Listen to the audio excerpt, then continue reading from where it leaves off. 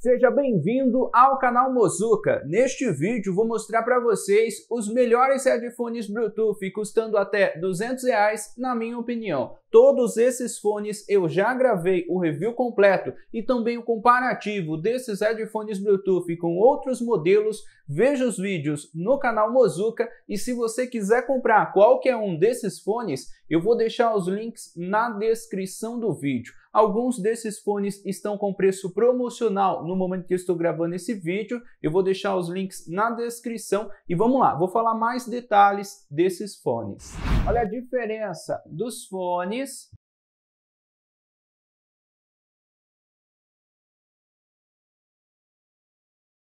Este é o fone Lenovo TH30 se você quiser, você pode dobrar o fone para guardar. Ele não tem muitas opções de ajuste. Eu achei que o fone não abafa muito som, mas ele cobriu toda a minha orelha. Ele tem conector USB-C para carregar, conta com um botão que você pode utilizar algumas funções. Você também consegue utilizar o fone com cabo Sobre a qualidade de som, eu achei que ele tem bons agudos, bons graves, mas eu achei que o volume deste fone não é muito alto em comparação com os outros headphones Bluetooth que eu já testei. Sobre a bateria, ele tem 250 mAh de bateria, você consegue utilizar por aproximadamente 9 horas de música contínua, depende do volume. E sobre o Bluetooth, ele tem Bluetooth 5.1. E para você carregar este fone de 0 a 100% demora aproximadamente duas horas. São esses alguns detalhes deste modelo. Eu achei o material do fone um pouco simples, mas eu achei bom o preço deste fone no momento que eu estou gravando esse vídeo. Na minha opinião, um bom custo-benefício. Este é o modelo Lenovo TH30. Já este é o fone Lenovo TH40. Olha os detalhes deste modelo ele tem mais opções de ajuste em comparação com o fone Lenovo TH30. Também achei o material do fone melhor. Você também pode dobrar o fone para guardar. Ele conta com um botão que você pode utilizar algumas funções, tem conector USB-C para carregar, você também consegue utilizar o fone com cabo e este modelo tem cancelamento de ruído ativo.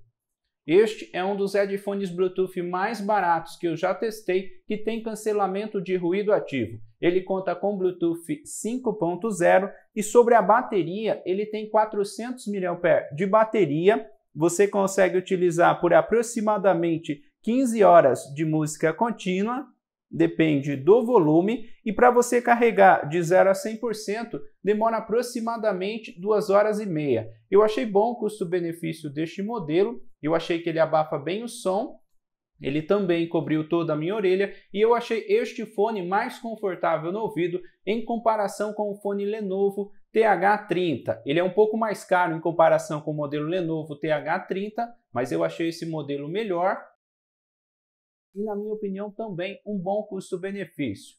Já este é o headphone Bluetooth Baseus Bowie D05.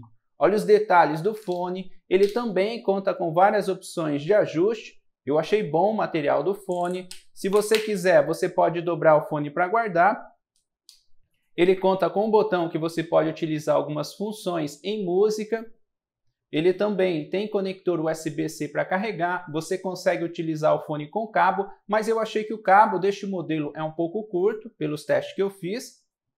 Eu achei o fone confortável no ouvido, achei que ele abafa bem o som, ele não tem cancelamento de ruído ativo, mas eu achei que ele abafa bem o som, ele também cobriu toda a minha orelha.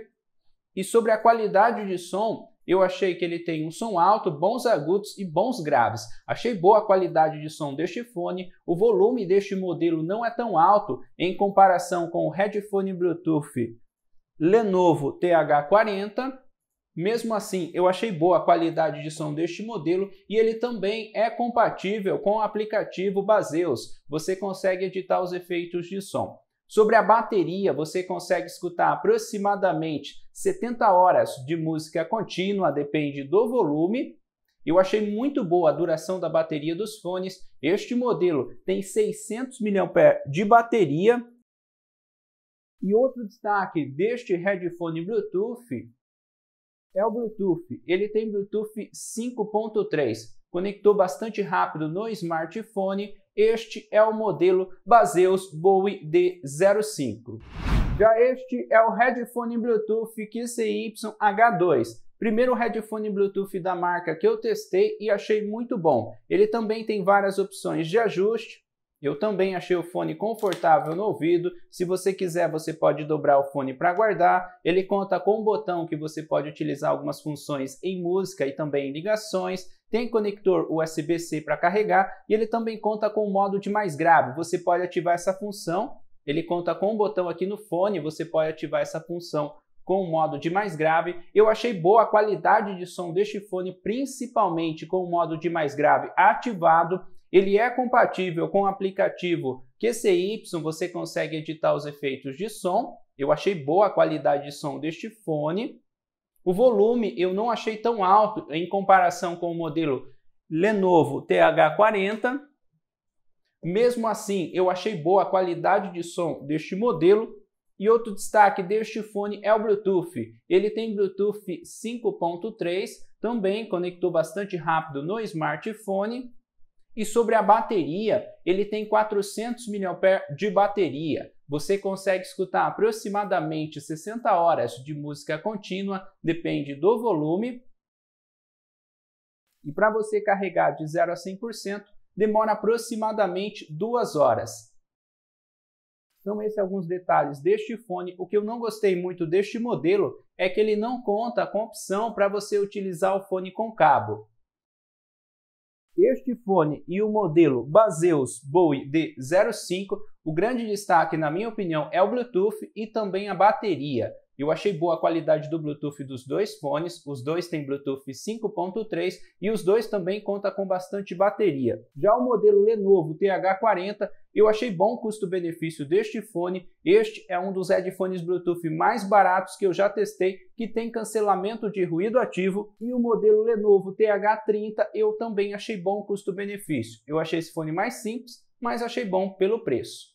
São essas algumas diferenças entre esses fones. É isso que eu queria falar para vocês sobre cada um desses fones. Se você tem alguma dica, sugestão de vídeo, deixe nos comentários. E se você quiser comprar qualquer um desses modelos, eu vou deixar os links na descrição do vídeo. Muito obrigado a todos e até o próximo vídeo.